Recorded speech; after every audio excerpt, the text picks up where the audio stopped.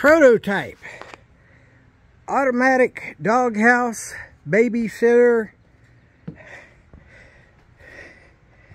anybody that knows you can't take your pets everywhere. This right here is actually going to be I guess you would call it nowadays carbon neutral. But I'm using the solar panels as dual purpose roof. There's about 1300 watts or 1.3 kilowatts of solar. And I know for a fact that dogs love to be up off the ground. It gives them security.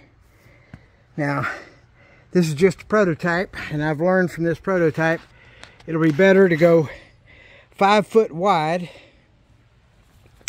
There's a insulated doghouse that can put a heater in it.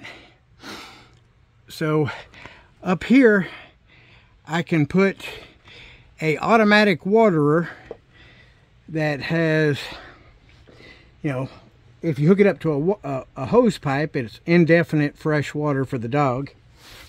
So that, and you put a, uh, a 24 pound uh, dog feeder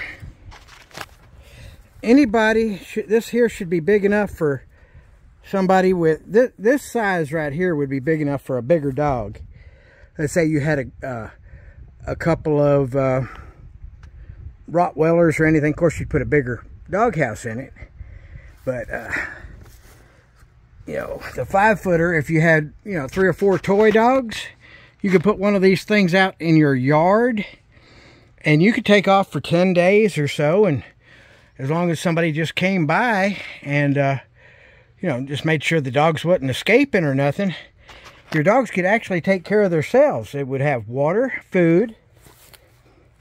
They would have a place off the ground.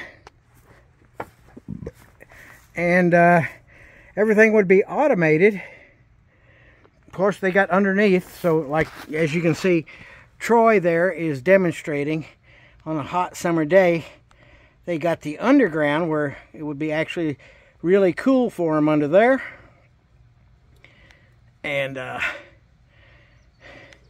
you know, at night, they want to get off the ground and sit up here and survey. Come here, Troy. I need a model. Come here and model this. Uh, come on. Get up here. Up here and model.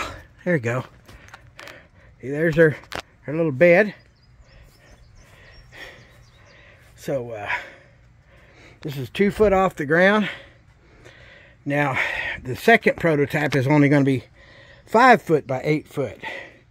So I'll be able to transport these. I'll be selling these. I haven't come up with an exact cost, but I know if you want solar panels, it's going to be a lot more expensive. But with just a white metal roof on it, and a, you could get your own insulated doghouse. So even in the coldest winter time, there'll be heat in there or shade, shade and heat. Uh, might hook up a, a small fan, you know, uh, set it on a thermostat up here so it only comes on like temperature gets above 90 degrees just to make sure there's always some kind of air circulation. But yeah, I know this leaks, but when it rains real hard, but it doesn't leak that bad. And if it was raining real hard, of course, they go in the doghouse. But most of the time out here, they can just sit out. So I'm guessing one of these with solar panels, probably going to be about 2,500 bucks. And without solar panels, probably about 1,500 bucks. That's just a guesstimate. Now, if you wanted all the uh, batteries and all like that hooks up with it, you're talking quite a bit more. But uh, right there, we got, I'm to say, let's just go for,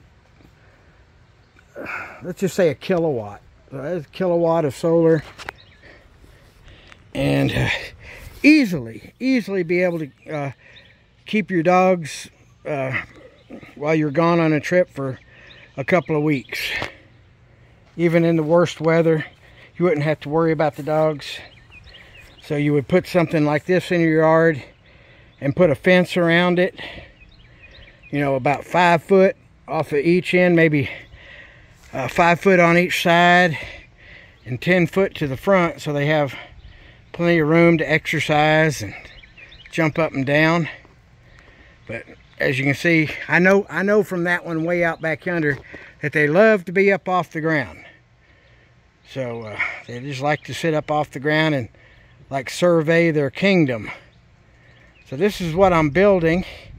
And you can let me know in the comments if you think something like this would be worth uh, 1500 bucks without, uh, of course, without the solar panels. We could build one of these, deliver it to your backyard, and uh, you could put the fence around it. Or, of course, I could uh, bring out something from Tractor Supply. Of course, that would be extra money.